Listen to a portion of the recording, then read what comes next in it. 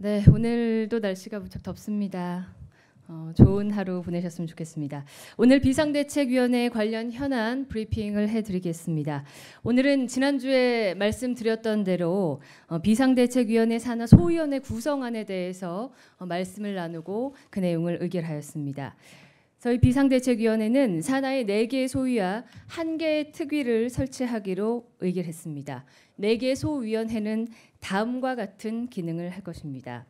먼저 자유한국당의 좌표와 가치를 재정립하기 위한 소위가 마련될 것입니다.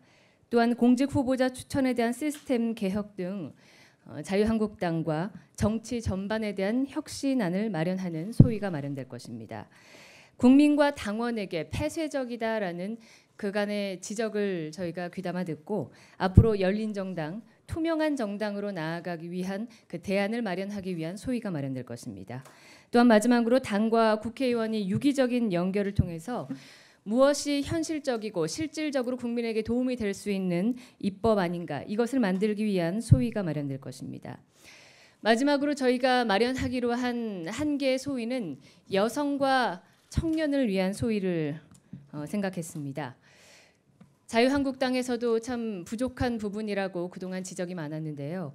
여성과 청년에게 조금 더 도움이 되는 정당, 그 대안과 그 입법을 만들 입법을 하기 위한 정당이 될 수 있도록 특위를 마련해서 좀 더 집중적인 논의를 하게 될 예정입니다.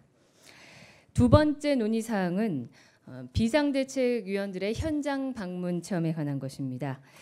어, 저희 예상으로는 아마 8월 중순 셋째 주 정도까지 일정이 이어질 것으로 생각되는데요. 총 3차에 갈진 현장 방문 일정에 대해 오늘 의결하였습니다.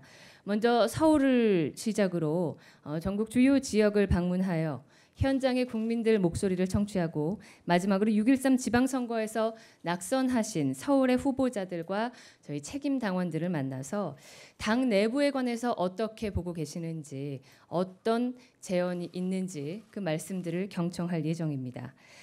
가장 처음 어, 돌아오는 수요일 8월 1일이죠. 이 민생 현장을 바로 방문할 것입니다.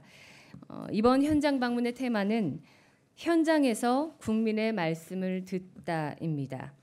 새벽부터 우리 국민들이 어, 늘 이용하시는 버스와 지하철 그리고 도보를 활용해서 어, 현장에 있는 국민들과 실질적으로 만나고 자유한국당이 어떻게 바뀌어야 하는지 그 혁신에 대한 의견을 묻고 또 민생 전반에 대한 국민들의 의견과 말씀을 물을 예정입니다.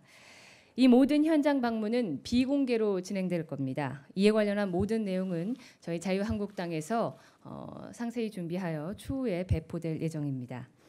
음, 이상 오늘 비상대책위원회 관련 현안 브리핑을 마치도록 하겠습니다. 감사합니다.